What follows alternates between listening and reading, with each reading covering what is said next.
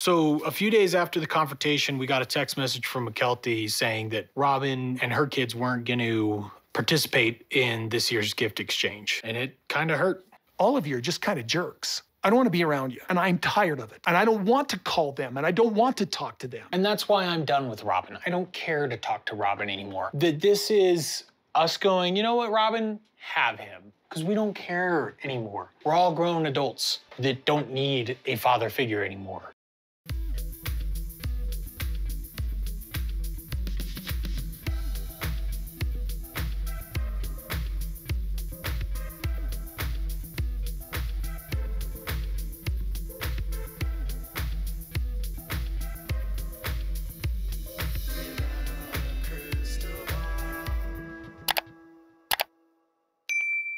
Hey friends, it's Katie from Without a Crystal Ball. Welcome back to my channel. It is Thursday, May 7th, 2024. I hope everyone's having a wonderful day. I'm not sure about you, but some of the clips and scenes from season 18 of Sister Wives are sort of haunting me in a way that I didn't really think they would since the news broke about Garrison Brown. And a scene that keeps playing over and over my head is when all of the kids were sitting with Janelle and Christine at Garrison's house talking about the text exchange. And Garrison was really eloquently explaining the narcissistic experience they were having with Robyn, where she was gaslighting them and making them feel like what happened to them didn't happen, and that she was the one that it was happening to, making them question their own reality. And even saying and going as far as saying, This is me saying, All right, Robyn, you can have him because we don't need him anymore. And I just remember when he said that, I just did not feel like he meant that. I could tell that he was just putting, trying to put on a brave face for his siblings, trying to put on a brave face for himself, trying to fight back in any way that he knew how, and trying to feel like he would be okay without his father. But I don't think what he said was true. And even Christine said after that that every child needs their father, that even she still to this day needs her father, and that no matter what is going on, this is going to be painful for the kids. And we are now learning that that estrangement with Kody was a very big part of Garrison's struggles and his hurts that he was dealing with. And his family was in the process of imploding and it was hurting him. And if you watched Sister Wives, you know that Garrison was the oldest son that lived in Flagstaff. So he was the oldest of all of the boys, the kind of big brother for that entire group down in Flagstaff. And I think he took that role very seriously and he wanted to very much be there for all of his siblings. And I think that's a lot, he had a lot of weight on him. He was also trying to navigate being a member of the National Guard and navigate work, navigate having a mortgage, navigate having to pay his bills while being on a show and not getting paid, and his dad's picking fights with his siblings on a television show. And that is a lot of burden to put on a very young person. And clearly, he was struggling, and now he is not here today. And we've now learned that Sister Wives will continue filming, and this will be part of their storyline. And as I continue to discuss what has been coming out, I just want to reveal this because I honestly missed the story. It has been very hard to keep up, and I'm doing my best to deliver to you content. But I feel like this is something that needs to be shared and something that is relevant and I think is going to speak to how Robyn Brown is likely to make the situation about herself. Plus, I have done some research into why Kody Brown may have needed a ride over to Garrison's house, and it has to do with the fact that he has unpaid speeding tickets in the state of Arizona, which have been unpaid for more than four years, and there is a registration hold on his account. Robyn Brown also has a registration hold on her account, and both of them have holds one for four years and one for three years, meaning it's at this point highly likely that both of them have suspended license, meaning that Kody isn't going to show up at a house that has a lot of police officers without a valid driver's license and show up in a car. And Garrison Brown's roommate, Addison, who was the one that saw him that night and was close friends with Garrison, uh, spoke with Us Weekly and broke their silence and broke their silence on Garrison. So the article about what happened and how Janelle was following the news about Garrison. This is a few days old, so again, I apologize. But at the time, a source was saying that Janelle was angry and numb and she hasn't processed it clearly. She's definitely not processed this at all. She doesn't even know which ends up, which makes sense. You've this is less than 24 hours after she finds out that her son has passed away and she has to grapple with that reality and doesn't probably understand what has happened.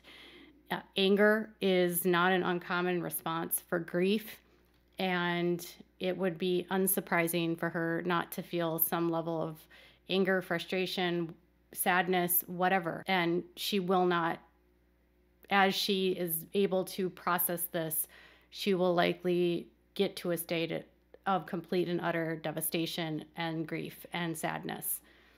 But this is what the source went on to say. She's very angry right now. She's not a crier or an emotional person. It takes a lot to get her to break. So I think right now she's going to like go, what the heck happened? How did I do wrong? What did I do wrong? This family is extremely broken and tortured, and it's very painful for many of them. The source is making it seem like she's not sad, she's not upset, she's just angry and mad, which I don't buy, but maybe. And then this is why I feel like the source is Robyn, because they said the source claimed that Kody's fourth wife is the one who's actually really upset about it. She's really devastated. Robyn is really devastated. She's actually the one who's really upset. Robyn's the one that's upset, not Janelle. Janelle's angry. Do you see how, if this is Robyn doing this and one of Robyn's friends doing this to the son, how gross this is? It's always a competition with these people. And Janelle is probably feeling frustrated. She's probably mad at herself. She's probably mad at Kody. She's probably angry that this happened. But that doesn't mean she's not devastated. And it doesn't mean she's not upset. It doesn't mean she's not crying. In fact, the police report, she doesn't sound angry. She doesn't sound very mad. She she sounds heartbroken, confused, distraught because she she felt like she should have done more. I mean, that's what she said to the police. I wish I would have done more. I should have gotten him help, or I should have done something more for him. This was a woman that was so worried about him that she sent her son over there and to go find him, that was calling his siblings to see if they had spoken to him. This isn't a woman that didn't care about her son. She loved her child and is truly devastated.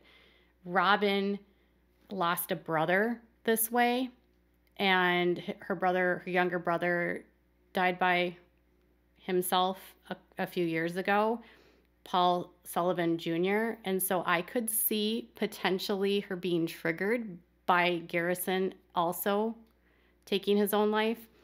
But I don't believe for a minute that Robyn is the one that's really devastated because Robyn had no relationship with Garrison.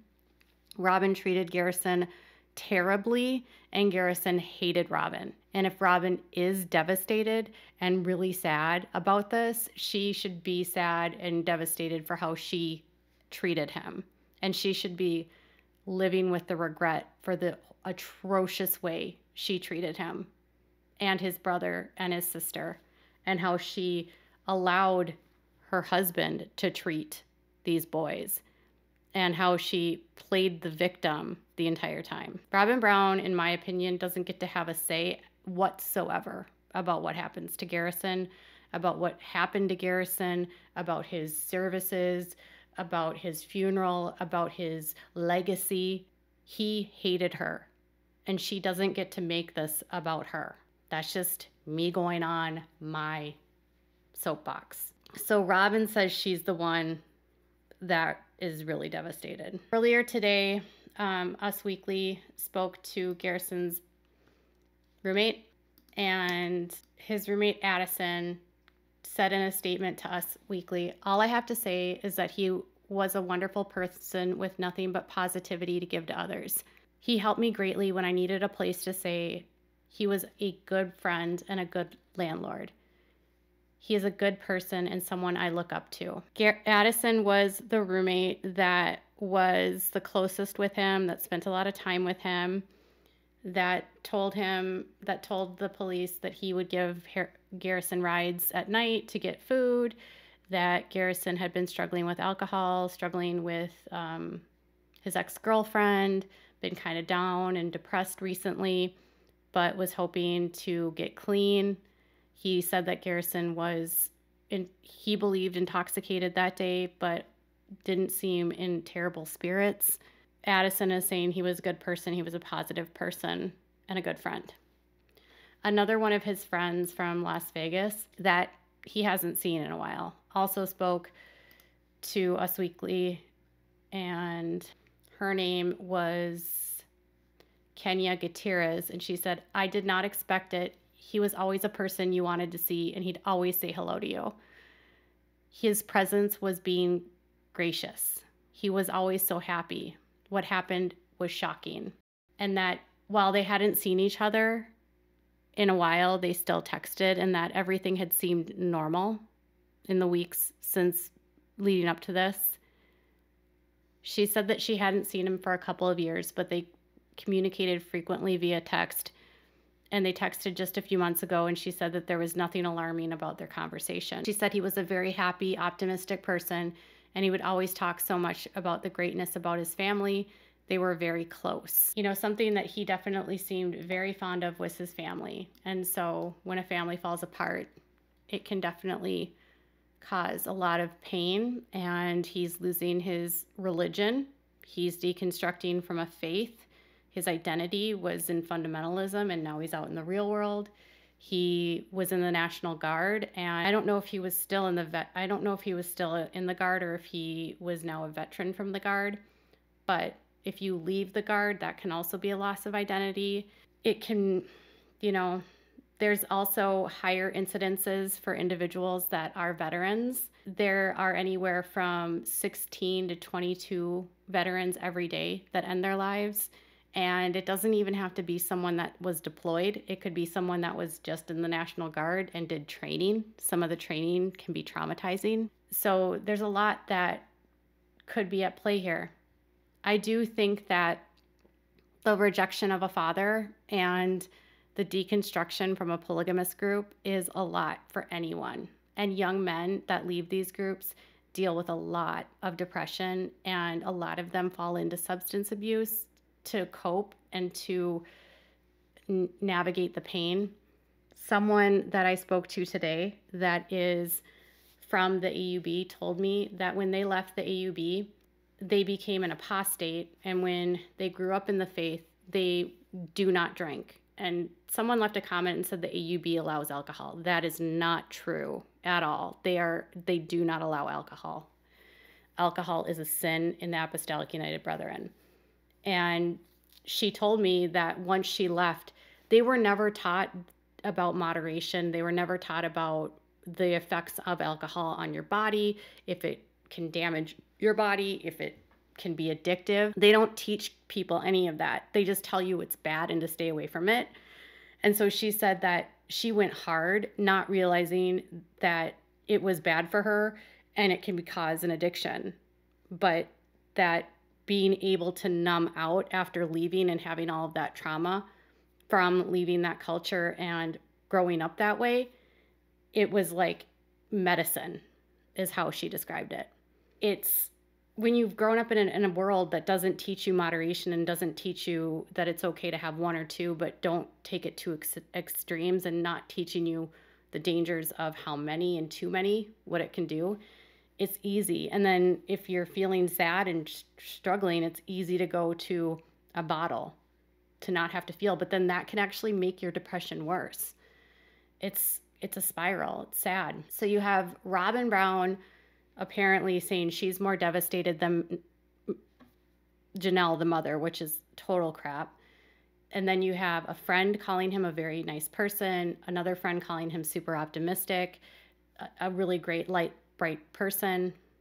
So it's clear that something had again changed. And as Janelle had said, the last few years, Garrison has been more withdrawn and less happy. And she was worried about his mental health. Now, with regards to Kody and Gabe, uh, one thing on the police report was that Kody, Gabriel left the house after he had found Garrison. After he's talking to police, he leaves the house to go get his dad. And someone in my comments earlier said, I have a theory that he went to go confront his father. I mean, that could be true. I don't know. But he may have been asked to go pick up his father, maybe by Janelle, maybe by someone. And the reason is is that Kody got a speeding ticket in 2020 in the state of Arizona. It was like going it was a high level speeding ticket. I think more than 15 miles an hour above the speed limit, which required like defensive driving school and all of that. And he did not pay the ticket. And so the ticket went on his record and he has an unpaid fee. And he has a vehicle registration hold and it's been on there for four years. So it not only is a registration hold in that it prevents him from registering vehicles that he owns in the state of Arizona, but it also means that his license, his driver's license, can be suspended for not having, for not paying driver or the driver the speeding tickets. And all he would have to do would be to go pay the ticket. That's all he would have to do, and it would go get lifted. He'd just have to go to the courthouse and make the payment, but he didn't make the payment, and it remains on his record. And Robyn has one too. This means both of them to this day are still driving around with suspended licenses. And I asked someone who works and has covered polygamy for decades if this is common, and they said yes, that polygamists do not care. A lot of them don't even have driver's license. If they get a ticket, they don't pay it, it doesn't matter to them. But in this instance, do you think Kody's going to show up at a house that's filled with police officers and medical examiners and they've got multiple units there? He's not and, and they're asking for people's identifications when they're interviewing them. So do you think he's going to show up in a car driving and then give his driver's license which by the way is suspended to police? He could he would have ended up with a ticket. He could have ended up getting arrested for all we know.